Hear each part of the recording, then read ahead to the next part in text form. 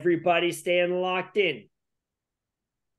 Rest it out. Make sure we're not over compressing here. There you go, just to the 90 degrees. And